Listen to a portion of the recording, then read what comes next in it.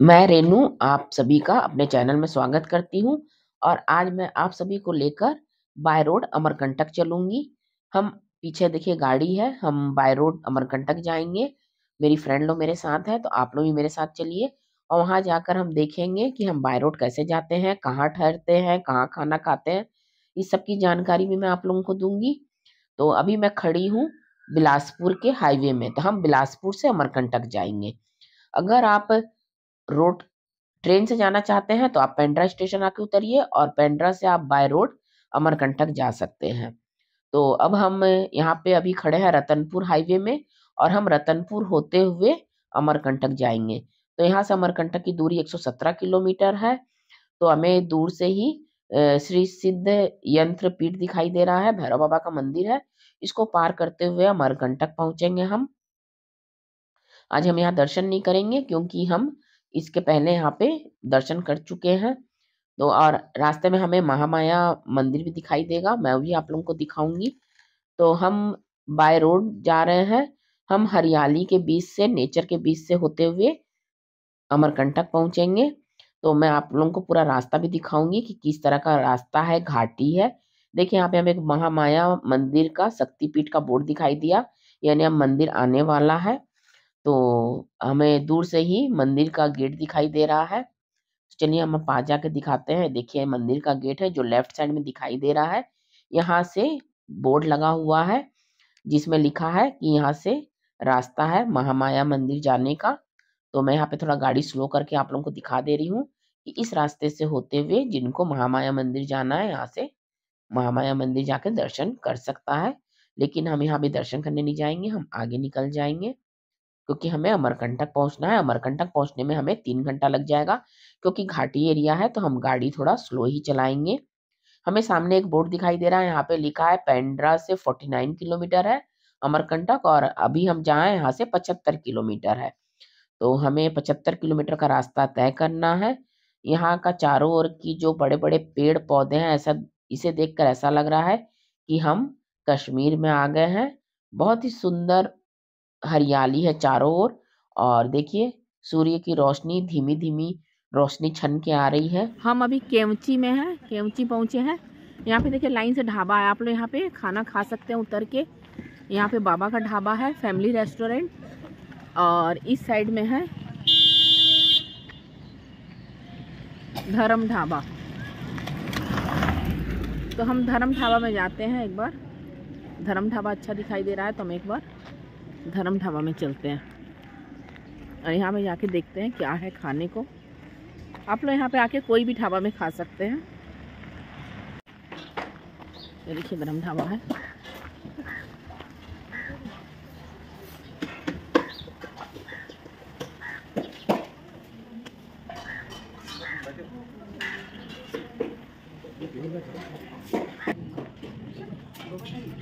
इसमें बैठे?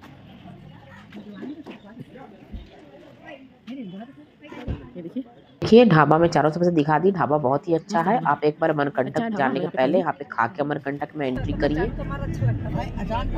ये हम अमरकंटक में एंट्री कर रहे हैं। ये कबीर ये कबीर चबूतरा का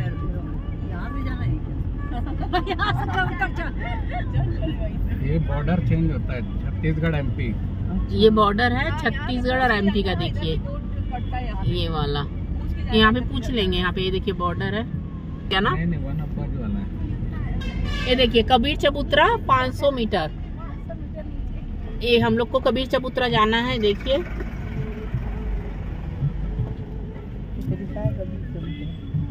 कबीर चबूतरा जाना है। हमने जो कॉटेज बुक किया है वो छत्तीसगढ़ टूरिज़्म बोर्ड का है। तो वो शहर से पाँच सात किलोमीटर पहले ही स्थित है। और ये देखिए एरो है यहाँ से अंदर जाने का रास्ता है। और जो छत्तीसगढ़ टूरिज़्म बोर्ड का रहता है, वो नेचर के बीच में, पहाड़ की वादियों के बीच में और थोड़ा एकांत जगह में ही बनाते हैं इस तरह के कॉटेज लोग। तो हम चलिए इस रास्ते से अंदर जाते हैं क्योंकि यहाँ पे आसपास कोई दिखाई नहीं दे रहा है, लेकिन रास्ता यही है और बहुत हरियाली के बीच में कॉटेज बनाया जाता है जिससे कि लोग यहाँ पे आके शांति के दो पल व्यतीत कर सके। तो हम लगभग पहुँच चुके हैं अपने कॉटेज के पास।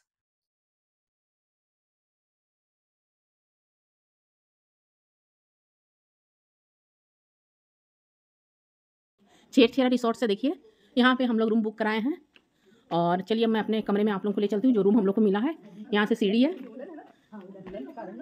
चलो।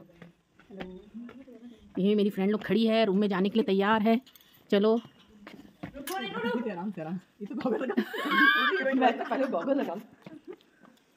ये है रूम और रूम के बाहर ये देखिए। यहाँ पे सोफ़ा लगा हुआ है। डाइनिंग स्पेस भी है। टेरिस है ओपन टेरिस यहाँ पे देखिए। यहाँ से बैठ के आप बाहर का नज़ारा भी ले सकते हैं। ये देखिए, चारों तरफ़ बहुत हरियाली है। इसका नज़ारा आप लीजिए। यहाँ पे चेयर है। ये है रूम। ये देखिए। ये है चेयर। और ये है डबल बेड, देखिए। एसी भी है, लेकिन हम लोग ठंड में आए हैं तो एसी का उपयोग नहीं करेंगे। यहाँ पंखा भी है साइड में। और ये देखिए, रूम बहुत काफ़ी बड़ा है। ये देखिए मैं आप लोगों को रूम दिखा दूँ। काफ़ी बड़ा है। यहाँ टीवी है। टीवी ये चेंजिंग रूम है। ये देखिए यहाँ पे बहुत बड़ा सा चेंजिंग रूम दिया है। ये है चेंजिंग रूम ये देखिए। और देखिए वॉशरूम भी काफ़ी बड़ा है। वॉशरूम भी काफ़ी बड़ा है। गीजर वगैरह सब है। ये देखिए।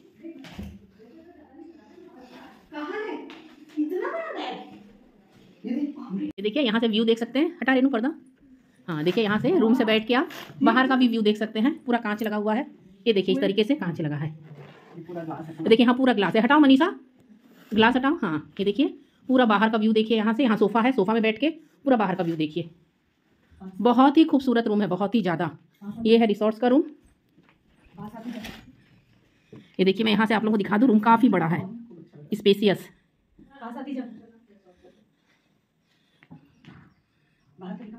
ये देखिए बेड चलिए, यहाँ से मैं बाहर का नज़ारा देखती हूँ, देखिए।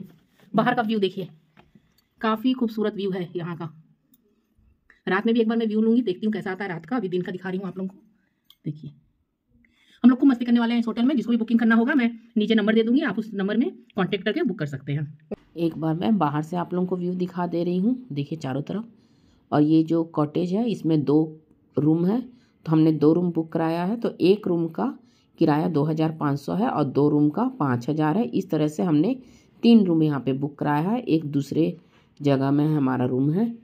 तो इस तरह से हमारा सात हज़ार पाँच सौ रुपये लगा जिस कॉटेज में रुके हैं उस कॉटेज का रात का लुक है ये।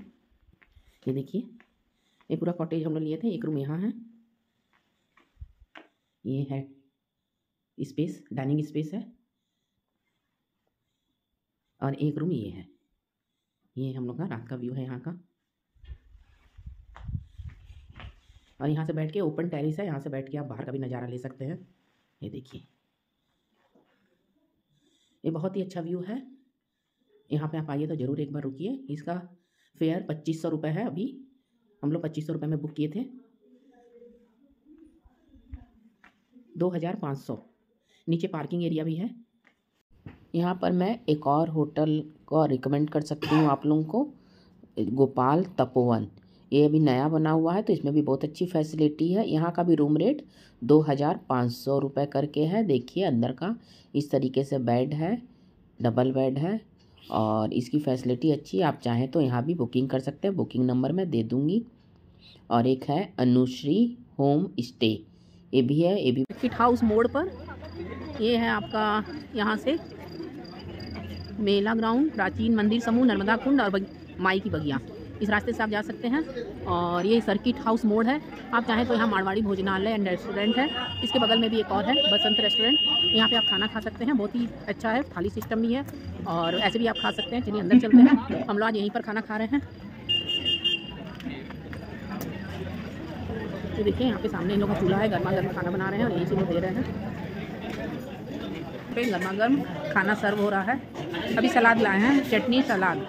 अभी सर्व कर रहे हैं। ये कड़ी है हाँ ये कड़ी है। ये मीठा है। ये है आलू गोभी की सब्ज़ी। ये है दाल। यहाँ पे दाल जीरा दाल है ये। ये है मैम पनीर। पनीर है। ये पनीर का सब्ज़ी है। ये आप लोगों को बता दो एक सौ साठ रुपये वाली थाली हम लोग लिए हैं ना। इसमें तीन सब्ज़ी है। कड़ी है दाल है रोटी है चावल है और एक मीठा है। लगाना ना वो भी सेम है। ये है आलू मटर। कढ़ी डाल दे इसमें और दाल डाल दे। आलू मटर है। रोटी अभी देखिए। ये मेरे पूरे एक दिन का वीडियो है। मैं कहाँ ठहरी कहाँ पर खाना खाई? मैंने कोशिश किया है कि आपको अच्छे से अच्छे होटल और अच्छे से अच्छे रेस्टोरेंट का पता बता पाऊँ। अगर आप आएँ तो एक बार ज़रूर यहाँ पे विज़िट करिए। अगर मेरा ब्लॉग पसंद आया होगा तो लाइक करिएगा शेयर करिएगा। Thank you.